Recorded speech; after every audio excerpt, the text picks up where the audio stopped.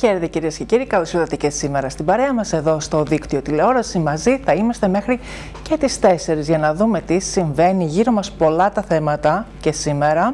Θέματα που αφορούν στον πολιτισμό αλλά και άλλα που αφορούν στο Δήμο των Σερών. Θα δούμε τις εξελίξεις που έχουμε και τις διαφωνίες που έχουν ξεσπάσει.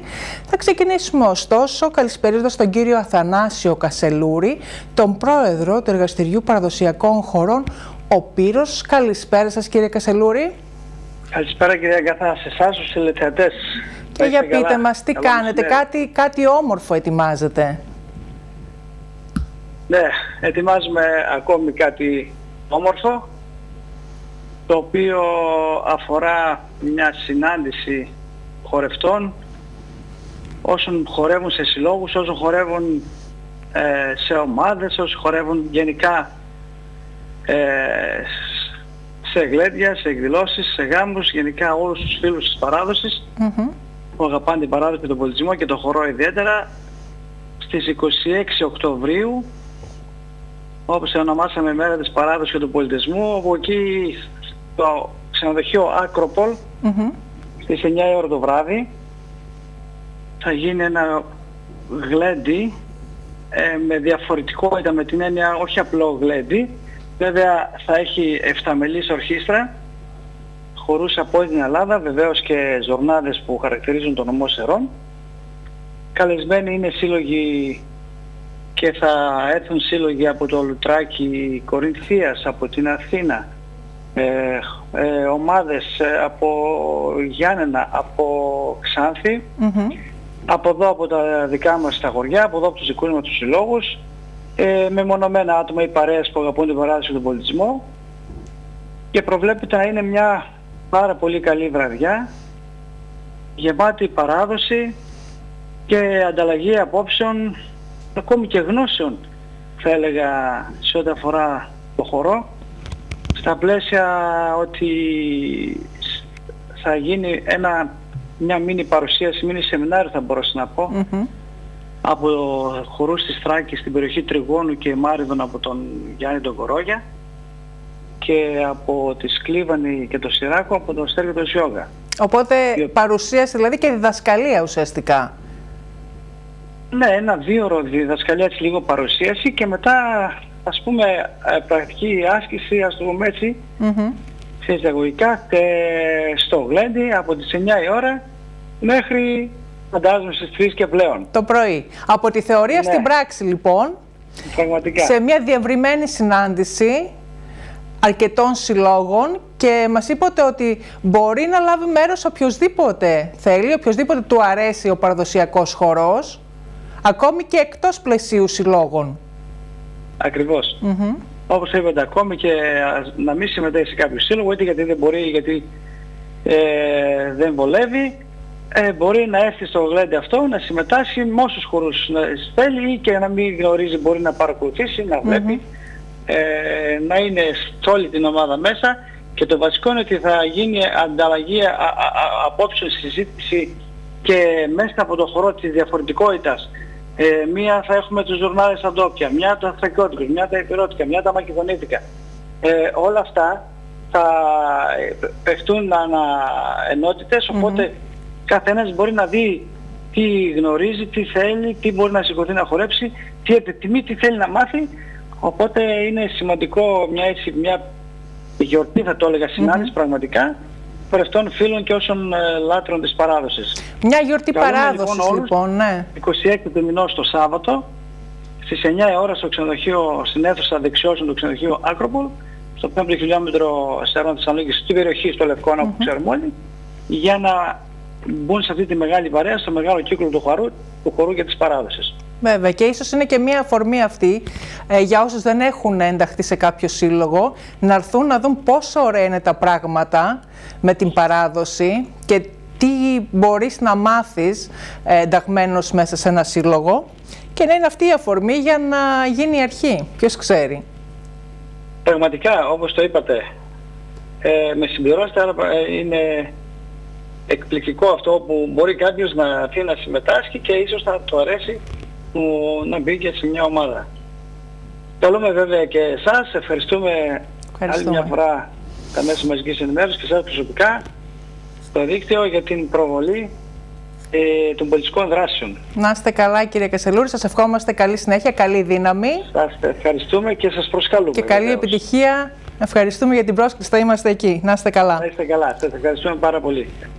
Και εμείς ε, να αλλάξουμε θέμα και να μιλήσουμε εμείς αμέσως με την κυρία Κατερίνα Παπάζογλου, η οποία είναι πρόεδρος του Συλλόγου Γονέων και Φίλων Παιδιών Ατόμων με Αναπηρία.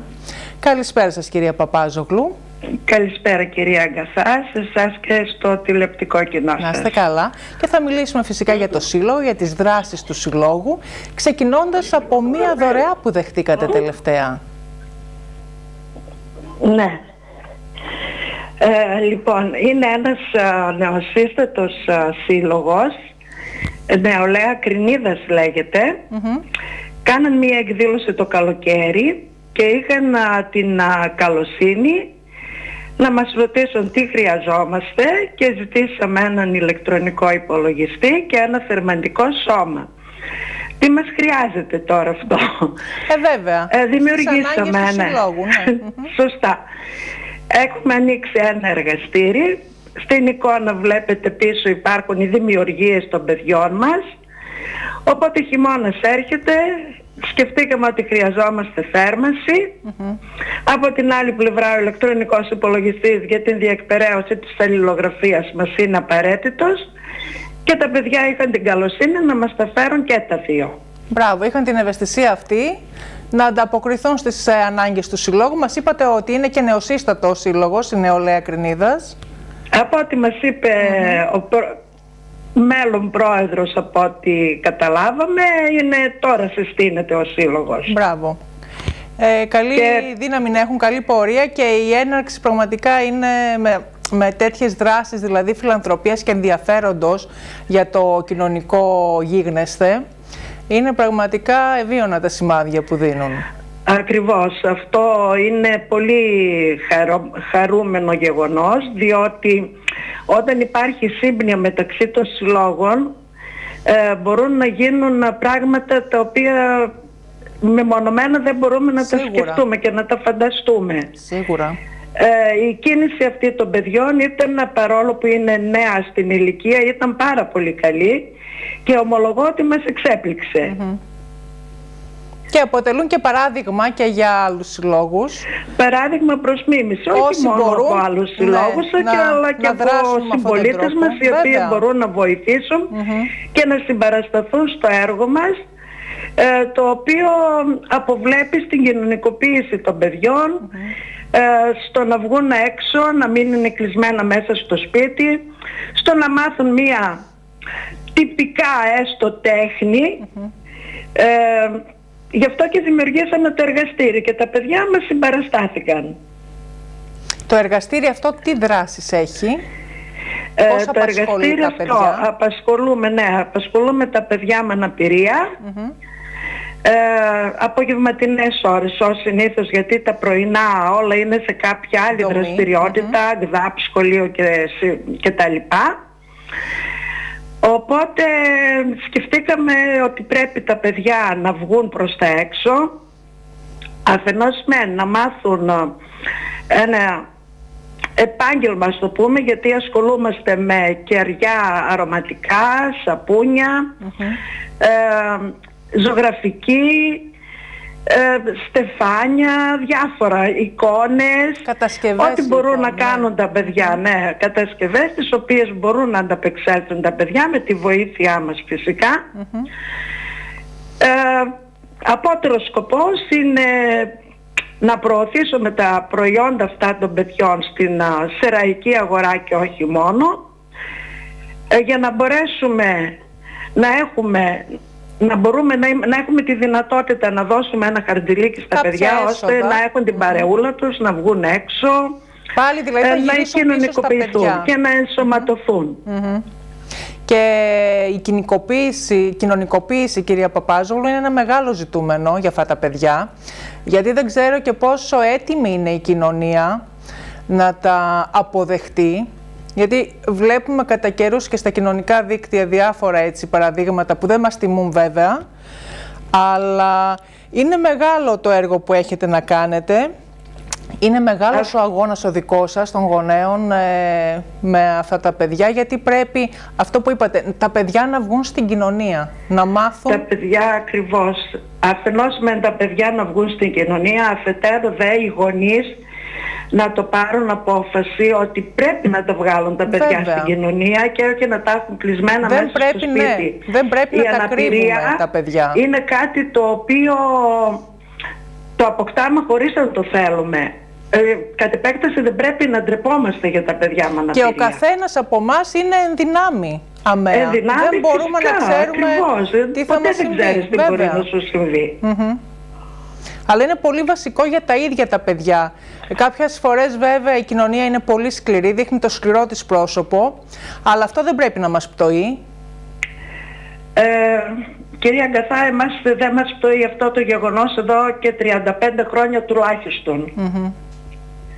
Τρέχουμε, φροντίζουμε, προσπαθούμε, λέμε τους γονείς αυτοί οι οποίοι είναι, είναι κάπως διστακτικοί και δεν θέλουν να εμφανίσουν τα παιδιά τους ότι πρέπει να το ξεπεράσουν, να βγουν τα παιδιά έξω, ε, να είναι μαζί με τα άλλα τα παιδιά, δεν, έχουν, δεν υστερούν σε κάτι. Έτσι Οπότε το μέλημά μας είναι αυτό. Αλλά σε αυτά όλα θέλουμε συμπαράσταση και το σεραϊκό κοινό. Διότι μόνο η δική μας η προσπάθεια δεν φτάνει. Δηλαδή, αυτή τη στιγμή ξεκινήσαμε να λειτουργούμε ένα εργαστήρι το οποίο το έχουμε εδώ και δύο χρόνια. Ε, εάν δεν μας στηρίξει το σεραϊκό κοινό, ούτως ώστε να πουλούνται τα δημιουργήματα των παιδιών, ε, δεν μπορούμε να το κρατήσουμε. Κάνετε κάποιες κάποια δράσεις, στιγμή κάποια έτσι, θα το κλείσουμε. κάποια μπαζάρ εν ώψη των εορτών, ε, έχετε ε, κάποιο συγκεκριμένο μπαζάρ πρόγραμμα; κάναμε και για το Πάσχα και mm -hmm. στη ΣΕΡ για δεύτερη χρονιά λάβαμε μέρος. Ε, και για τα Χριστούγεννα πέρυσι και φέτος πάλι έχουμε σκοπό να κάνουμε. Ε, συνεχώς έχουμε το μαγαζί ε, το οποίο είναι στην Ομήρο 10 και το οποίο έχουμε ανοιχτό και μπορούν οι γονείς να έρθουν να δουν ε, πού θα είναι τα παιδιά εφόσον πάρουν την απόφαση να τα εγγράψουν στο εργαστήρι. Ε, ε, κάνουμε όλη αυτή την προσπάθεια για να μπορέσουμε ε, να υλοποιήσουμε τον σκοπό μας. Την κοινωνικοποίηση των παιδιών και την αποδοχή από όλους. Αυτό μας ενδιαφέρει. Το έργο σας, όπως είπα και πριν, είναι μεγάλο, είναι δύσκολο και κάποια φορά, κάποιες φορές ε, χρειάζονται και αυτές οι συζητήσεις όπως αυτές που κάνουμε τώρα, όπως αυτή, γιατί καμιά φορά συμπαρασυρώμαστε από την καθημερινότητα, αυτό το παράπονο που εκφράσατε για τους πολίτες πριν λίγο. Και η αλήθεια είναι ότι ίσως χρειάζονται κάποιες υπενθυμίσεις για να ανταποκριθούμε στα καλέσματά σας και έτσι θα πορευτούμε από εδώ και πέρα. Είμαστε στη διάθεσή σας. Αυτό έχετε, Όταν έχετε τις έχετε απόλυτα δίκιο. Αλλά και από την άλλη πλευρά ε, σκεφτόμαστε μήπως γίνομαι φορτική, κουραστική, γραφική, δεν ξέρω πώς να το χαρακτηρίσω. Ε, όχι, όχι, δεν θα φτάσουμε εκεί. Κυρία Παπάζουλου, σας ευχαριστώ θερμά για την επικοινωνία σήμερα. Σας εύχομαι καλή δύναμη και καλή επιτυχία σε όλες αυτές τις δράσεις των ε, παιδιών. Να είστε καλά, καλή συνέχεια. Και εμείς τώρα να αλλάξουμε θέμα. Θα μιλήσουμε αυτής αμέσως με τον ε, Αντιδήμαρχο Υγείας, τον κύριο Νάσο Παπαδόπουλο.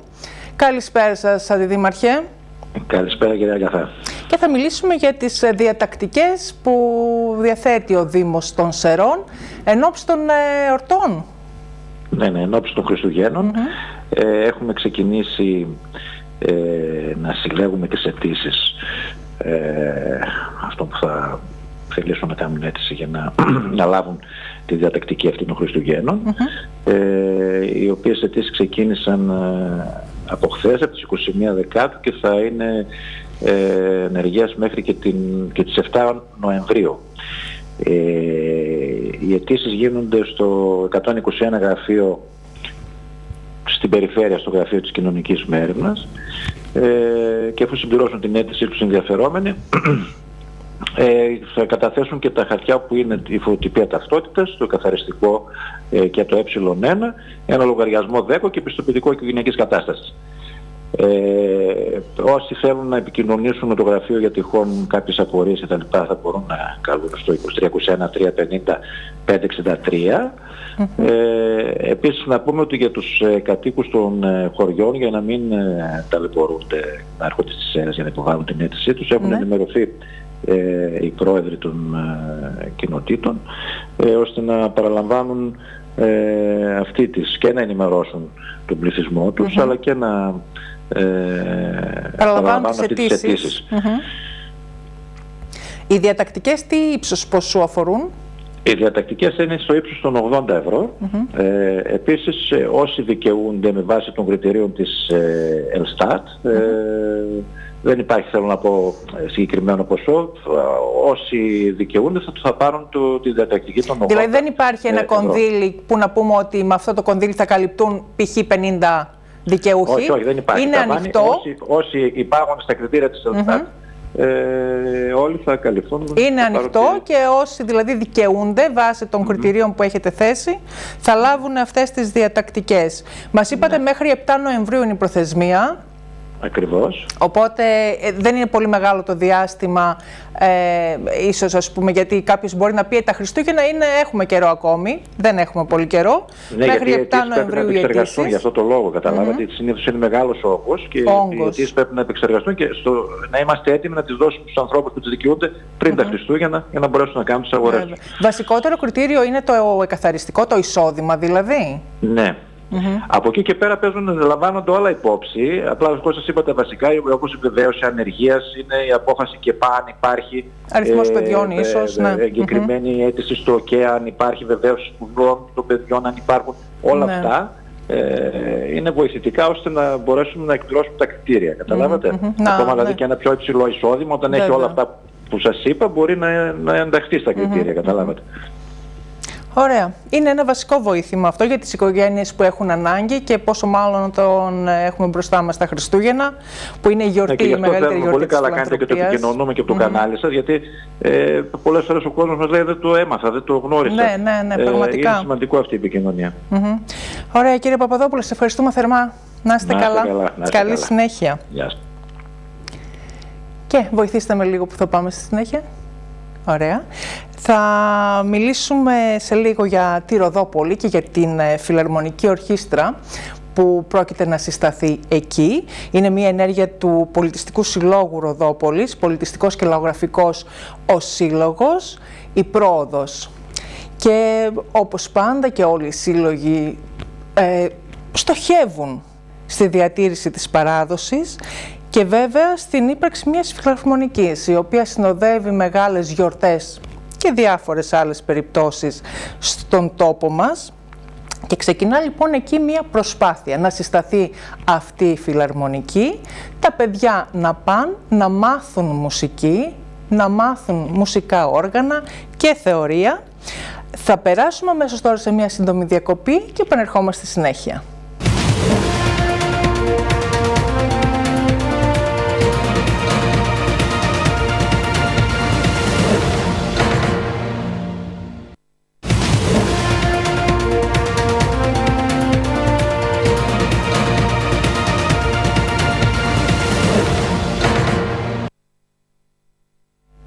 Επιστρέψαμε, συνεχίζουμε και θα περάσουμε στα του Δήμου των Σερών και θα μιλήσουμε για ένα θέμα που μας έχει απασχολήσει αρκετά και σε αυτή την εκπομπή και πρόκειται για το Κέντρο Ημερήσιας Φροντίδας Ηλικιωμένων.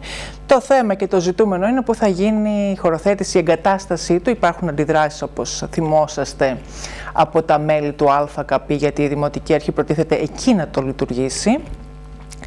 Και στην τελευταία συνεδρίαση του Δημοτικού Συμβουλίου, ο αρμόδιος αντιδήμαρχος έκανε μία τοποθέτηση που έλεγε ότι γιατί αντιδράτε στην αντιπολίτευση, στη μείζων αντιπολίτευση, γιατί αντιδράτε αφού κι εσείς κάτι τέτοιο σκεφτόσασταν ότι η χωροθέτηση του Κιφή θα γίνει μάλλον στο ΑΚΠ. Το σκεφτόσασταν κι εσείς και μάλιστα υποστήριξε ο Δήμαρχος ότι αυτό του το μετέφερε ένα σημαίνον στέλεχος της Συμμαχίας Εραίων, της ε, Μίζωνος δηλαδή αντιπολίτευσης σήμερα και απόρρισε γιατί αντιδρα... υπάρχουν αντιδράσεις για αυτό το θέμα. Θα παρακολουθήσουμε στο ρεπορτάζ τι ακριβώς συνέβη, ποιος ήταν ο διάλογος και θα επανέλθουμε στο θέμα. Επειδή εδώ βλέπω ότι γίνεται ένα παιχνίδι μικροπολιτικής ε, εκμετάλλευσης, ε, πρέπει να τον αναφέρω ε, ε, κάποια πράγματα. Από το Εθνικό Διαδημοτικό Δίκτυο Υγειών Πόλεων Προαγωγής Υγείας βραβεύτηκε ο Δήμος των Σέρων με έπαινο κοινωνικής προσφοράς μέσα από τη θεσμοθέτηση των ΚΕΠ Υγείας, καθώς και με ευχαριστήριο έπαινο για το γεγονός ότι εκπλήρωσε τα κριτήρια που έθεσε ο Παγκόσμιος Οργανισμός Υγείας κατά τη χρονική περίοδο 2019-2024. Την ανακοίνωση έκανε ο αρμόδιος αντιδήμαρχος Νίκος Φρυδάς, ο οποίος συνεχάρει την προηγούμενη Δημοτική Αρχή και την πρώην αντιδήμαρχο Σωτηρία Πάνου για τις ενέργειες που έκανε ώστε να δημιουργηθεί το ΚΕΠ Υγείας. Ο Νίκος Φεϊδάς όμως δεν έμεινε μόνο σε αυτό, καθώς αναφέρθηκε εκτενώς και στο θέμα του κυφή, λέγοντας χαρακτηριστικά πως γίνεται ένα παιχνίδι μικροπολιτικής εκμετάλλευσης. Και έχω αναρτήσει στα μέσα κοινωνικής δικτύωσης ότι εμείς δεν αφουγκραζόμαστε κοινωνία και, και τις αγωνίες των ηλικιωμένων και προχωράμε στην ίδρυση ε, αυτού του κέντρου στον χώρο του ΚΑΠΗ, δημιουργώντας πρόβλημα στην εταιρεία των, ε, των ΚΑΠΗ. Πρέπει να αναφέρω, να αναφέρω ε, κάποια στοιχεία και κάποια πράγματα για να, για να, ε, για να ε, αποκαταστήσω ε, μία πραγματικότητα. Θα κάνω ένα μικρό, μια μικρή ε, ανασκόπηση. Σύμφωνα λοιπόν με το δελτίο τύπου της Συμμαχία Αερίων, ε, αναφέρεται πως τον Σεπτέμβριο του 2020, ε, γνωρίζοντας ότι το 2024 θα βγει ένα, θα βγει ένα πρόγραμμα ε, χρηματοδότησης για ε, νέα κυφή στους, ε, στους Δήμους, έκαναν την ανάθεση, έκαναν την, ε, μία, μία μελέτη για την παροχή υπηρεσιών ε, συμβούλου για την ερεύνηση δημιουργίας κυφή. Και μετά από την ενέργεια αυτή προχώρησαν ε, και πέτυχαν την παραχώρηση χώρων ε, στο κτίριο νομίζω της, της αποδεδομένης, όπου για, για, για το σκοπό αυτό. Πρώτη ανακρίβεια. Ε, αυτός ο χώρος λοιπόν έχει παραχωρηθεί στο Δήμο μετά από απόφαση του Δημοτικού Συμβουλίου, μετά μάλλον την έγκριση από τον Απρίλιο του 20, δηλαδή περίπου 6 μήνες πριν. Και δεν έγινε φυσικά για τον λόγο αυτό, αλλά έγινε μετά από αίτημα του κ. Μευτοπάτη λόγω, ε, λόγω ε, στενότητας του, των, ε, των χώρων και των γραφείων στον, στο Δήμο Σερών με σκοπό την, την, την, την μετεγκατάσταση κάποιων υπηρεσιών στον, ε, στο Δήμο Σερών καθώς και μέρος του ε, αρχείου. Οπότε λοιπόν αυτός ο χώρος δεν έγινε, δεν έγινε μια τέτοια κίνηση παραχώρησης με σκοπό την λογική εκεί πέρα και υφή. Εντύπωση μάλιστα προκάλεσε η τοποθέτησή του πως μιλώντας με υψηλόβαθμα στελέχη της Συμμαχίας Ερέων δήλωσε πως το ανέφεραν πως και η προηγούμενη Δημοτική Αρχή είχε ερευνήσει το κτίριο του ΑΚΠ για να γίνει κυφή. Ο ίδιος μάλιστα ανέγνωσε έγγραφα που όπως τόνισε αποδεικνύουν τα λεγόμενά του. Μου ε, ανέφερα προφορικά φυσικά πως, ε, πως αν ε, επανεκλέγονταν ο, ο πρώτος χώρος όπου θα γινόταν το κυφή, ο πρώτος χώρος ο οποίος ήταν στην, στην, στην, στην νούμερο ένα ε, επιλογή ήταν ο χώρος του, του ε, ΑΚΠ. Λοιπόν, ε, και έχουμε και τα έγγραφα για να... Έχετε έγγραφα που λέει ότι δύσκολο δεν το εκεί. Λοιπόν, έχω έγγραφα το να υποστηρίξω αυτό το οποίο λέω. Ωραία, πέρα από το προφορικό λοιπόν, παρακαλώ. Λοιπόν, έχω ένα έγγραφο λοιπόν εδώ πέρα στις, ε, το Σεπτέμβριο του 2022 ε, ε, προς το, προς, από, από τη Διεύθυνση Κοινωνικής Προστασίας προς το Τμήμα Προγραμματισμού ε, με σκοπό τη διερεύνηση, τη διερεύνηση τότε ε, χρηματοδότησης, μεταξύ των οποίων ε, αναφέρει και το εξής.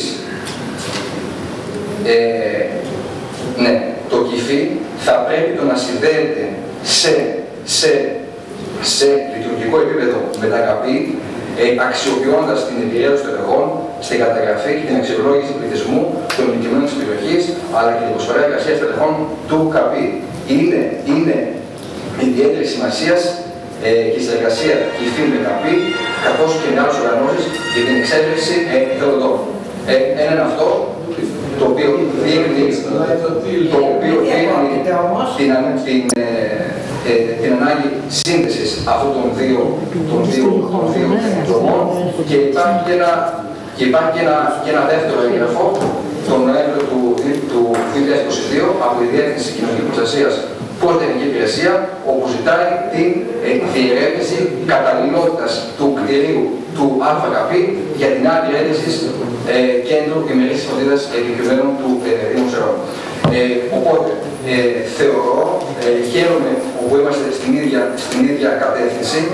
Ε, νομίζω πως ε, το, να, το να κάνουμε παιχνίδια εντυπώσεων πάνω στην πλάτη ε, των, ε, των ηλικιωμένων είναι νομίζω κατακριτέο ε, και, και πραγματικά ε, αφού έχουμε την ίδια, την ίδια ε, φιλοσοφία, γιατί εμάς ο σκοπός μας είναι το να, το να ε, αναβαθμίσουμε εκείνο τον χώρο, πραγματικά με, την, ε, με τη συστέγαση δύο δομών που βρίσκονται σε, σε ε, απόλυτη ε, συνάφεια, θα θέλαμε και τη στήριξή σας λοιπόν εσάς, ε, πάνω στον σκοπό αυτό. Ο τέος δήμαρχος Αλέξανδρος Χρυσάφης έλαβε το λόγο και ξεκαθάρισε πως ως Δήμος όντως προετοιμαζόταν για αυτή τη δομή ερευνώντας όλους τους διαθέσιμους χώρους, χωρίς όμως αυτό να σημαίνει προς το κυφί θα γινόταν στο πρώτο καπί, κυρίως δε χωρίς να ερωτηθούν οι ηλικιωμένοι. Ξεκαθάρισε δε πως πολιτική απόφαση της προηγούμενης Δημοτικής Αρχής ήταν το κυφί σε καμία περίπτωση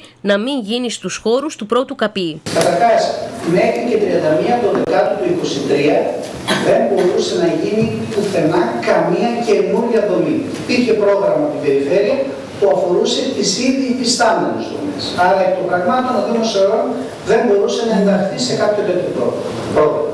Γνωρίζαμε από το 20 ότι θα υπάρξει και θα ανοίξει το πρόγραμμα για νέες δομές από μία πρώτη του 24. Και τι κάναμε, προετοιμαστήκαμε ούτως ώστε να υπάρξει μελέτη για το κομμάτι της δομής αυτής και γι' αυτό έγινε η ανάθεση. Προσέξτε η ανάθεση που έγινε για τη μελέτη αυτή έρχεται και διερευνά όλους τους διαθέσιμους χώρους. Δεν λέει κανένας και στην ανακοίνωσή μας ότι το, εκείνο το οίκημα είχε παραχωρηθεί για κυφή. Ξέρετε τι λέει, ότι είχε παραχωρηθεί ένα οίκημα για τις ανάγκες του Δήμου, αρχικά η τεχνική σκέψη να γίνουν οι τεχνικές υπηρεσίες, αλλά η μελέτη και ο μελετητής, ο οποίος έγινε και την χωροθέτηση, προφανώς είδε και εκείνο το χώρο. Και η δικιά μας πολιτική βούληση ήταν να γίνει το κυφί εκεί. Προσέξτε τώρα τι λέτε εσείς. Λέτε ότι έγινε ένα εγγραφό το οποίο λέει ότι θα πρέπει να υπάρχει σχέση και διασύνδεση μεταξύ κυφή και ε, καπή. Αυτό δεν έχει καμία σχέση με την χωροθέτηση. Πρώτο.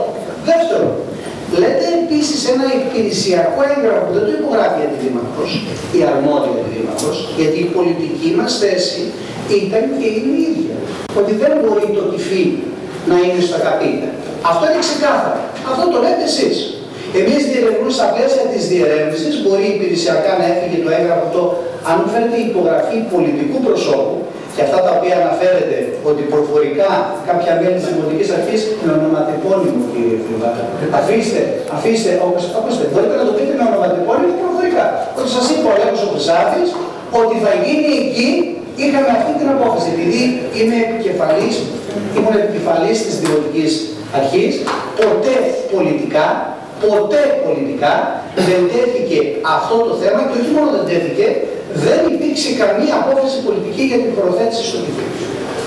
Υπηρεσιακά μπορεί να γινόταν η οποιαδήποτε διερεύνηση, διερεύνηση, αλλά πολιτικά, και αυτό αναφέρει η δικιά μας ανακοίνωση, δεν θα καλούσαμε να το πω έτσι, δεν θα δυσχεραίναμε τη λειτουργία του ΚΑΠΗ εκεί, γιατί να είστε σίγουροι, γι' αυτό και υπάρχουν σφοδρές αντιδράσεις από τους ηλικιωμένους. Και να τους ηλικιωμένους.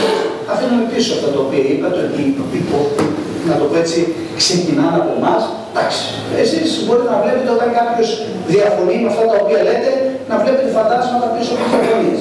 Η πραγματικότητα είναι ότι οι άνθρωποι αυτοί διαφωνούν και κατά την άποψή μας σωστά διαφωνούν για την συγκεκριμένη προθέτηση, γιατί δεν μπορεί να συνεπάρξει σε εκείνο το χώρο και κυφή και, και ε, Αυτά λοιπόν συζητήθηκαν στη συνεδρία του Δημοτικού Συμβουλίου για την ε, χωροθέτηση του ΚΙΦΗ και έχουμε κοντά μας τηλεφωνικά την κυρία Σωτηρία Πάνου, Δημοτική Σύμβουλος της Μίζωνος Αντιπολίτευσης της Συμμαχίας Ερέων, πρώην Αντιδήμαρχος Κοινωνικής Πρόνοιας. Κυρία Πάνου, καλησπέρα σας. Καλησπέρα, κυρία Αγκαθά, σε εσάς και στους τηλεθεατές σας. Είναι ένα θέμα που το είχατε χειριστεί εσείς; Ως ναι, αντιδήμαρχος, ναι. ως αρμόδια αντιδήμαρχος. Βεβαίως. Και τελικά ισχύει αυτό που ανέφερε ο κύριος Φρυδάς, ότι και εσείς είχατε κάποιες σκέψεις για τη χωροθέτηση του κυφή στο ΑΚΠ. Καταρχάς ε, να σημειώσω ότι απουσίαζα νόμιμα και αιτιολογημένα από το τελευταίο Δημοτικό Συμβούλιο με επιστολή που απέστειλε ηλεκτρονικά στο Προεδρείο. Ε, το σημειώνω γιατί για δεν το υπήρχε τυπικό. ναι, για το τυπικό της υπόθεσης. Ναι. Παρουσία μου για να απαντήσω εκείνη την ώρα. Ιδάλλως θα τι είχα κάνει. Πληροφορήθηκα ναι. βέβαια μετά με τα λύπης από συναδέλφους μου ε, ότι και από εσάς σήμερα το πρωί ότι έγιναν προσπάθειες ε, από την Δημοτική Αρχή και από τον αρμόδιο αντιδήμαρχο να διασκεδάσει τις αρνητικές εντυπώσεις, θα έλεγα, που προκάλεσε η πολιτική απόφαση της παρούσας Δημοτικής Αρχής να χωροθετήσει το κυφί στο κτίριο του ΑΚΠ. Στην προσπάθεια αυτή, ε, ώστε να δημιουργηθούν κάποιες τεχνητές, κάποιες ψεύτικες, θα έλεγα, συγκλήσεις των απόψεων της προηγούμενης και της παρούσας Δημοτικής Αρχής, δηλαδή στην προσπάθεια να δείξουν ότι υπάρχει μια συμπόρευση στο παρασκήνιο αναφορικά με τη χωροθέτηση του Κηφή, έγινε επίκληση από τον αρμόδιο αντιδήμαρχο σε δύο έγγραφα. Το ένα έγγραφο το οποίο επικαλέστηκε ε, με ημερομηνία τον Νοέμβριο του 2022 ναι. και αριθμό πρωτοκόλλου 38971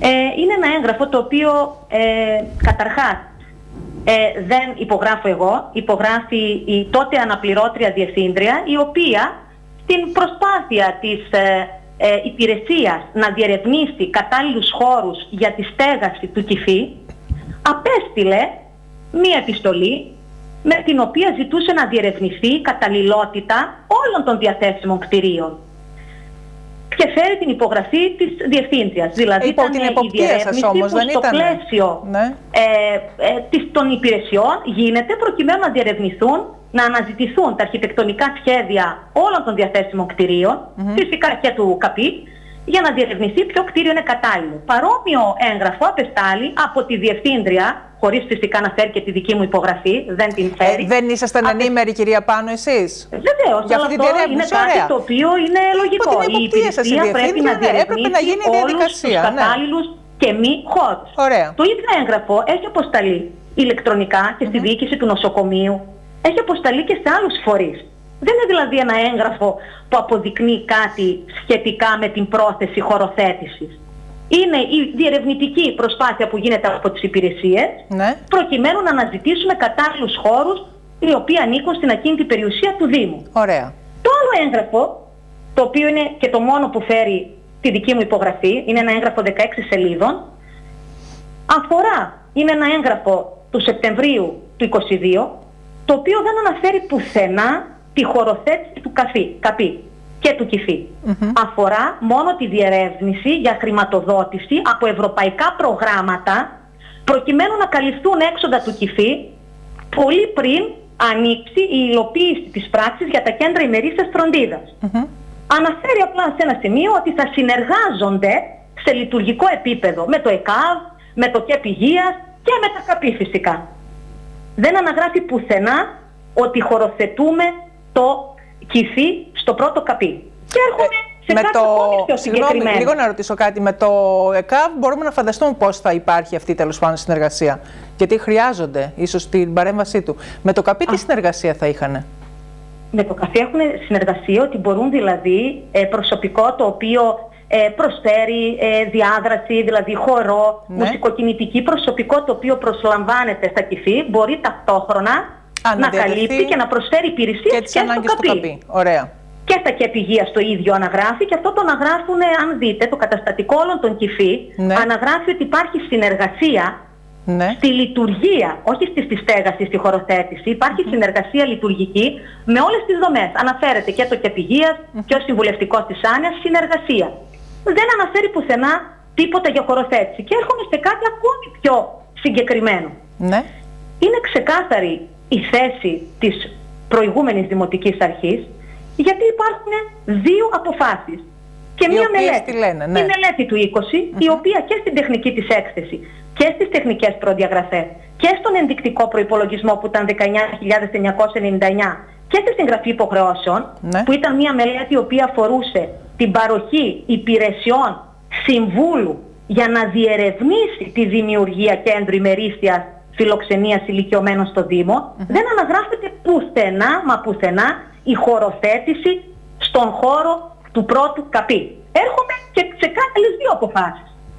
Η αλήθεια, κυρία Αγκαθά, δεν κρύβεται. Υπάρχουν δύο αποφάσεις, οι οποίες ναι. αυτή τη στιγμή είναι αναρτημένες στη διάβια, ξεκάθαρα πράγματα, όχι ανυπόστατες φήμες, μου είπαν υψηλόβαθμα στελέχη, αυτά νομίζω ότι δεν τιμούν τον πολιτικό διάλογο. Πρέπει να συνδιαλεγόμεθα ε, ως θεσμικοί φορείς και εμείς που συμμετέχουμε στα θεσμικά όργανα με πολιτικούς όρους, όχι με ανυπόστατες φήμες του τύπου μου είπαν υψηλόβαθμα στελέχη. Λοιπόν, υπάρχουν δύο αποφάσεις αναρτημένες αυτή τη στιγμή στη διάβια που μπορεί να αναζητήσει ο κάθε πολίτης. Ναι. Είναι η απόφαση 362 του 24, όπου δεν ψηφίσαμε την έγκριση πρότασης υποβολής για το ΚΙΦΗ με χωροθέτηση στο ΑΚΠ. Υπάρχει και η απόφαση 643 του 24 όπου ψηφίσαμε ως Συμμαχία Θεραίων μόνο την αποδοχή χρηματοδότησης γιατί ναι, θέλουμε να γίνει το ΚΙΦΗ σε άλλον χώρο φυσικά, σε οποιονδήποτε άλλο χώρο αλλά όχι στο πρώτο καπί. Είναι απόφαση δηλαδή Δημοτικού Συμβουλίου αυτό που μας αναφέρετε; Είναι δύο αποφάσεις της ναι. Δημοτικής Επιτροπής, οι οποίες ναι, ήρθαν στη συνέχεια και στο Δημοτικό Συμβούλιο, οι οποίες αποδεικνύουν περίτρανα ότι δεν έχουμε, δεν υπήρχε, δεν υπάρχει και αυτό αποδεικνύεται και από αυτές τις αποφάσεις καμία ούτε πρόθεση, αν και να σας πω η σκέψη δεν είναι κάτι που διώκεται, που ποινικοποιείται.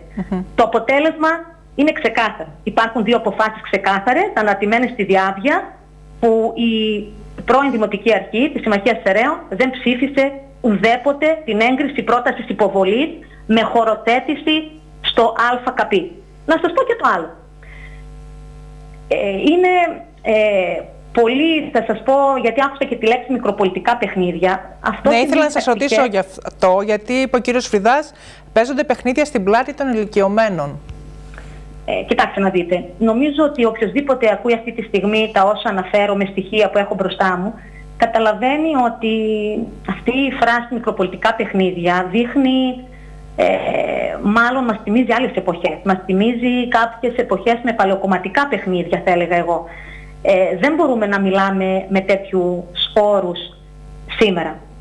Η αλήθεια φαίνεται από τις δύο αποφάσεις. Τώρα τον επικαλούμαστε ένα έγγραφο για τη διερεύνηση καταλληλότητας χώρων δεν είναι σοβαρό πράγμα.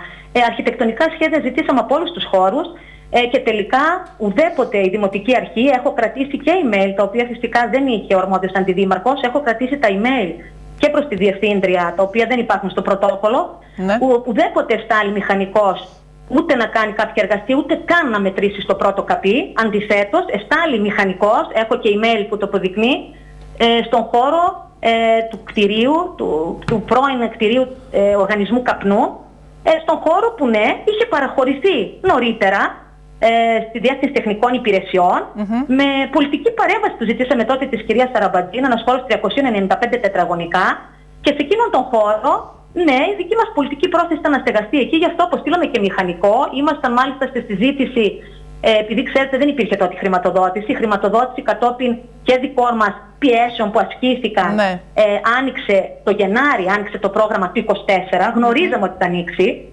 Να πω και το άλλο εδώ ότι ε, βλέπω ότι συνήθως επέρονται για έναν θρίαμβο ότι καταφέραμε να φέρουμε αυτό το πρόγραμμα. Ε, λίγο να είμαστε σοβαροί. Πάντως αυτό, αυτή, το πρόγραμμα... αυτό το κτίριο που λέτε, αυτός ο χώρος, ναι, είχε μεσολαβήσει η κυρία Φωτεινή Αραμπατζή, είναι πλέον ακόμη στη διάθεση του Δήμου. Βεβαίως, για 100 χρόνια, να... χωρίς καμία υποχρέωση οικονομική. ε, να επισημάνω ότι μιλάμε για ένα θρίαβο. Ε, το ΚΕΦ είναι ένα καλό έργο.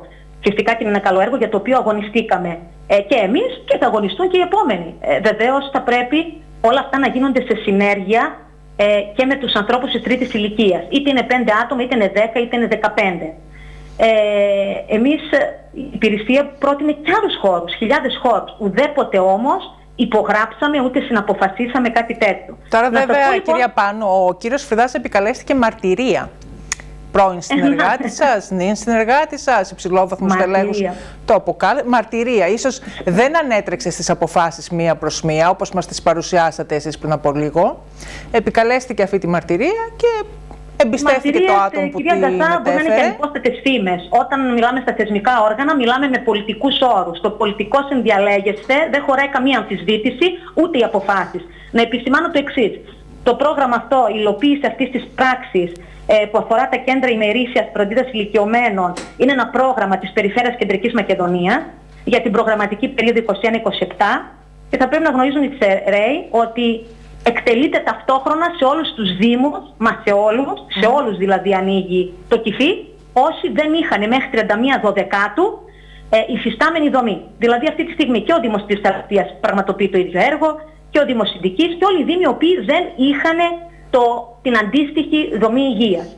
Είναι μια πολύ σημαντική δομή υγείας, αν και αδίκως, ε, θα το πω, κατηγορηθήκαμε ε, πολλές φορές και για έναν ιδιότυπο κοινωνικό ρατσισμό ε, και αυτό θα έλεγα είναι αστείο να το πω εντός εισαγωγικών. Ναι. Ε, το κυφί φυσικά και ένα σημαντικό έργο, αλλά δεν πρέπει να γίνεται σε βάρος της λειτουργίας και της άλλης δομής του ΚΑΠΗ. Ε, να σας θυμίσω ότι εμείς είχαμε προτείνει στο Δημοτικό Συμβούλιο να γίνει μια τροποποίηση στη χωροθέτηση, μια τρο, πρόταση τροποποίησης στη διαχειριστική ναι. αρχή του προγράμματος, η οποία δεν έγινε δεκτή από τη Δημοτική Αρχή. Με το σκεπτικό ότι ενδέχεται να χάσουν τα χρήματα και να απενταχθεί το έργο. Μπορώ να σας πω κυρία Αγκατά ότι χειριστήκαμε και εμείς στο παρελθόν την αλλαγή χωροθέτησης του κοινωνικού φαρμακείου και τη χειριστήκαμε με μεγάλη επιτυχία. Ενώ άλλαξε η χωροθέτηση δεν διακινδυνεύσαμε και δεν χάσαμε ούτε ένα ευρώ. Τουλάχιστον θα μπορούσαμε να πούμε ότι έχει γίνει προσπάθεια για την αλλαγή χωροθέτησης ε, αν θέλαμε να σεβαστούμε και την άποψη της αντιπολίτευσης, της μείζωνος αντιπολίτευσης. Ναι. Ωστόσο δεν έγινε ε, αποδεκτεί ε, αυτή η πρότασή μας να γίνει αυτή η προσπάθεια. Ε, αν έχετε κάτι άλλο να με ρωτήσετε, Εγώ θα ήθελα να ρωτήσω, ε, εσείς πού θα το βλέπατε ας πούμε να εγκαθίσετε το κυφί. Εγώ σας είπα, η δική μας πολιτική απόφαση ήταν στο κτίριο το οποίο παραχωρήθηκε από, την, την κυρία Ραμπατζή ναι, ναι, με πολιτική. Εμείς συζητήσαμε πολιτική παρέμβαση τότε. Φυσικά και παραχωρήθηκε στην τεχνική υπηρεσία ε, γιατί αυτή ήταν η διαδικασία που προβλέπονταν εφόσον το κτίριο ανήκε στον πρώην οργανισμό ε, καπνού ε, από το Υπουργείο Αγροτικής Ανάπτυξης και η παραχώρηση έπρεπε να γίνει εκεί. Ε, μετά δεν έγινε φυσικά η μεταβίβαση αυτού του κτηρίου στην πρόνοια γιατί δεν ήταν ενεργό το πρόγραμμα και ανοιχτή χρηματοδότηση. Γι' αυτό το έγγραφο αναφέρει ότι παραχωρείται και υπογράφει και να το αποδέχεται ο αρμόδιος αντιδήμαρχος, τότε ήταν ο κύριος Νυχτοπάτης. Δεν μπορούσε να γίνει εκείνη τη στιγμή μεταβίβαση και χωροθέτηση ε, προς τη διεύθυνση της πρόνοιας, γιατί δεν είχαμε την ενεργή χρηματοδότηση, περιμέναμε και γνωρίζαμε ότι θα ανοίξει αρχές του Γενάρη του 2024. Ε, αλλά όπως σας είπα, ούτε η μελέτη του 20 και οι αποφάσεις, υπάρχουν ξεκάθαρες αποφάσεις ναι, ναι. άλλωστε για το τι ψηφίσαμε. Δεν νομίζω ότι η διερεύνηση όλων των κατάλληλων κτηρίων ότι αποτελεί ένα στοιχείο ενοχοποιητικό για την προγενέστερη δημοτική αρχή. Και κάτι τελευταίο κυρία Πάνου θέλω να σας ρωτήσω. Ε, βλέπουμε ότι η δημοτική αρχή έχει στοχεύσει σε αυτό το κτίριο, το κτίριο του ΑΚΠ. Θέλει να λειτουργήσει το κυφί εκεί. Εσείς με την εμπειρία που έχετε, γιατί μας είπατε, μας αναφέρατε και το παράδειγμα του φαρμακείου, του κοινωνικού φαρμακείου. Πιστεύετε ναι. ότι μπορεί να αλλάξει ακόμη και τώρα η εγκατάσταση του κυφή, δηλαδή να μην εγκατασταθεί στο ΑΚΠ, να βρεθεί ένας άλλος χώρος ε, αν το αποφασίσει η Δημοτική Αρχή και για να μην χαθεί βέβαια και η χρηματοδότηση. Προλαβαίνουν ε, να το κάνουν αυτό; Ε, αυτή τη στιγμή νομίζω ότι είναι η λιμένη απόφαση. Έχει υπογραφεί ήδη από την Περιφέρεια Κεντρικής Μακεδονίας. Ε, αν θυμάμαι καλά, 1η Νοέμβρη είναι και η πρώτη απορρόφηση της πρώτης δόσης. Επομένως, είναι αργά. Αυτό έπρεπε να γίνει τότε, όταν ελήφθη η απόφαση 362 του 24 μέσα στη Δημοτική Επιτροπή, όπου όπως σας είπαν, τα δικά μας μέλη αποχώρησαν και δεν ψήφισαν. Τότε θα μπορούσε ενδεχομένως να γίνει μια τροποποιητική πράξη, να κάνουν ένα αίτημα στη διαχειριστική αρχή για να δεχτεί αλλαγή χωροθέτησης ε, ε, του χώρου. Αυτή τη στιγμή δεν νομίζω να είναι εφικτό, γιατί όπως σας είπα, αν θυμάμαι καλά ε, από την κατανομή ε, το, που γίνεται των 558.000 ευρώ που είναι συνολικά το πρόγραμμα για την πενταετία πρέπει να είναι η πρώτη πράξη εκτέλεσης ε, του χρονοδιαγράμματος πρέπει να είναι στις 1 Νοεμβρίου και έχει ήδη υπογραφεί ε, και από τον κύριο Τζιτζικώστα, από τον ε, πρόχειρα αναζήτηση που έχω κάνει στην ναι, ναι, ναι. Σε 10 μέρες δηλαδή θα πρέπει να γίνει αυτή η πρώτη απορρόφηση, οπότε δεν μπορεί να αλλάξει και τίποτα ουσιαστικά βέβαια δεν ξέρω αν το έχουν πληροφορηθεί τα μέλη του ΑΚΠ αυτό, οι οποίοι είχαν ε, προχωρήσει και σε συλλογή υπογραφών είχαν προσλάβει και δικηγόρο, να προχωρήσουν σε ασφαλιστικά μέτρα γιατί αντιδρούν, δεν θέλουν. Ε, όπως σας είπα, η δική μας πολιτική στόχευση ήταν για το ΑΚΠ ε, να εξυγχρονιστεί το ΚΑΠΗ με έναν διαφορετικό τρόπο. Δηλαδή να λειτουργήσει εκεί ε, το Πανεπιστήμιο της Τρίτης Ηλικίας, ε, δηλαδή να τους γίνονται κάποιες μέρες της εβδομάδας οργανωμένα μαθήματα ναι. ε, και να μπορούν οι ίδιοι να επιδοτούνται μέσα αυτού του προγράμματος. Είναι ένα πρόγραμμα το οποίο γίνεται σε συνέργεια με καθηγητές πανεπιστημίου ναι, από αυτό, ναι, αυτή ήταν η πρόθεσή σας. Ναι. Ε, δηλαδή να, με κάποιον τρόπο να εξυγχρονιστεί και να υπάρχουν περισσότερες δράσεις μέσα στο ΚΑΠΗ. Ναι. Χώροι διαθέσιμοι, ναι. όπως σας είπα, υπάρχουν και στο κτίριο του Παλαιού Νοσοκομείου ε, και στον, στην περιοχή του Λευκόνα γιατί αυτοί επιζητούσαν ισόγειο χώρος ε, κυρίως. Ε, βέβαια και ο χώρος εκεί... Ωραία, ναι, μας πιέζει και ο χρόνος κυρία Πάνου. Αλλά σας είπα αυτό είναι πολιτική απόφαση. ε, θα δούμε, ναι, θα δούμε. Εδώ είμαστε, οι μέρες είναι λίγες, ε, τελειώνουν προς τον Νοέμβριο πηγαίνοντας, οδεύοντας. Θα δούμε κυρία Σωτηρία Πάνου πώς θα εξελιχθεί το θέμα. Σας ευχαριστώ. Τώρα μας πιέζει ο χρόνος και πρέπει να προχωρήσω σε μια διακοπή. Να σημειώσουμε βέβαια ότι δεν ναι. έχουμε δει ακόμα και τη μελέτη και πόσα τετραγωνικά θα παραμείνουν για χρήση χώρου στους ναι. ανθρώπους του ΚΑΠΗ. Γιατί ναι, είναι και αυτό το ζητούμενο, ένα ζητούμενο. Αυτό είναι ένα ερώτημα που πρέπει να μας απαντηθεί στο Δημοτικό Συμβούλιο. Mm Σας ευχαριστώ και πάλι. Να είστε καλά, Εγώ, καλή συνέχεια. Να είστε καλά. Γεια σας, εμείς περνάμε σε μια σύντομη διακοπή και επιστρέφουμε.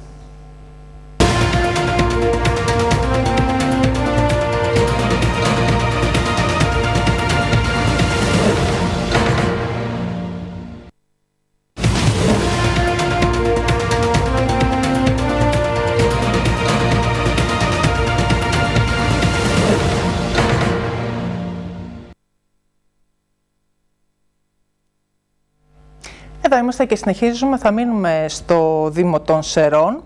Έχουμε κοντά μας τηλεφωνικά τον κύριο Βασίλη Τερζή, πρώην πρόεδρος ε, της ΣΚΕΔΙΣ, ο οποίος έχει προχωρήσει στην έκδοση ενός δελτίου τύπου με μια καταγγελία. Κύριε Τερζή, καλησπέρα σας. Καλησπέρα στο δίκτυο, καλησπέρα στους τηλεθεατές σας. Να είστε καλά. Για πείτε μας λοιπόν, τι σας όθησε έτσι να προχωρήσετε σε αυτό το δελτίο τύπου; Ε, κοιτάξτε, εσείς το είπατε λίγο αυστηρά, μια καταγγελία. ε, δεν ήταν η καταγγελία, απλά ήταν μια δημοσιοποίηση mm -hmm. ενός γεγονότος, νόμιμο κατά τα άλλα, ηθικό, θα το κρίνουν οι τελεθεατές σας, θα το κρίνουν οι αναγνώστες του δελτίου τύπου που έστειλα σήμερα το πρωί. Ε, βέβαια, όταν ε, η Δημοτική Αρχή εκλέχθηκε έχοντας ως πρώτο πυλώνα τη νομιμότητα, τη διαφάνεια, το καινούριο, το φρέσκο, το να ξεχάσουμε τα παλιά, το να γυρίσει ο Δήμος σε μια κανονικότητα όπου θα υπάρχει μια αξιοκρατία, όπου θα υπάρχει μια άλλη φιλοσοφία, μια άλλη νοοτροπία.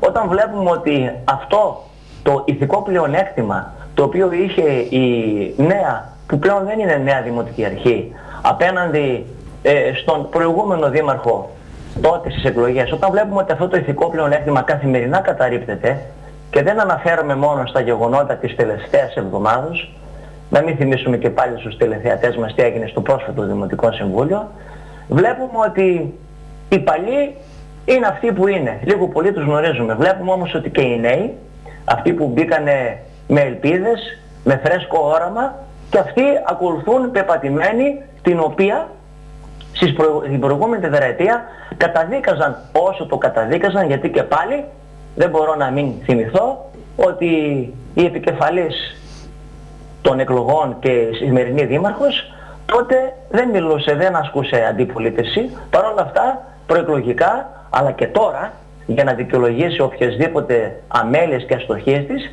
κατηγορεί εκ των υστέρων την προηγούμενη Δημοτική Αρχή για διάφορα γεγονότα που τα βλέπουμε να τα επαναλαμβάνουν και οι ίδιοι. Ποιο είναι λοιπόν αυτό λοιπόν το, το γεγονός που στυλιτεύετε εσείς. Απευθείας λοιπόν αναθέσεις νόμιμες, οι οποίες μέσα σε ένα εννιάμενο έχουν φτάσει περίπου στο 1,5 εκατομμύριο, νόμιμες. Είναι αυτές οι αναθέσεις που όλοι λένε για να τις βαφτίσουν και ως ένα καλό εργαλείο όπου βοηθάει το Δήμο και τα τμήματα και τις διευθύνσεις γρήγορα να τελειώνουν κάποιες δουλειές. Απευθείας αναθέσεις όμως και σε άτομα με τα οποία την χάνει να είμαστε συνεργάτες ή να είμαστε συνέτεροι σε έργα που αναλαμβάνουμε και σε άλλους Για να ακριβολογήσω, βλέπω λοιπόν για, ένα, για την έγκριση ενός πιστοποιητικού ενεργειακής αναβάθμισης ενός σχολικού κτηρίου, βλέπω ότι έγινε μια απευθείας ανάδυση εκτός συνόρων του νομού Σερών. Πρώτο λοιπόν ερώτημα, γιατί δεν απευθύνθηκαν στους ενεργειακούς επιθεωρητές του νομού μας. Πήγαμε λοιπόν σε έξω στη Θεσσαλονίκη. Δεύτερο και ακόμη πιο ε, επιλήψιμο, την χάνει αυτός που ανέλαβε αυτό το έργο με απευθείας ανάδυση να είναι στενός, χαλαρός, μακρινός συνεργάτης της Δημοτικής μας Συμβούλου και προ, Αντιπροέδρου της ΔΕΙΑΣ, της κυρίας Χαζηγαβρίλ. Και το βλέπουμε, δυστυχώς ή ευτυχώς, είναι και το πρόγραμμα Διάβια και βλέπουμε ότι οι δυο τους έχουν αναλάβει την μελέτη ενός άλλου έργου ναι. στον μακρινό Δήμο στην Αυπακτία. Αντίστοιχο, έχει λοιπόν, συνάφεια ή είναι κάτι διαφορετικό; Έχει συνάφεια άμεση. Εκεί είναι η μελέτη για, την ενεργεια... μελέτη για ενεργειακή αναβάθμιση ενός κτηρίου. Εδώ μιλάμε για έγκριση πιστοποιητικού ενεργειακής αναβάθμισης.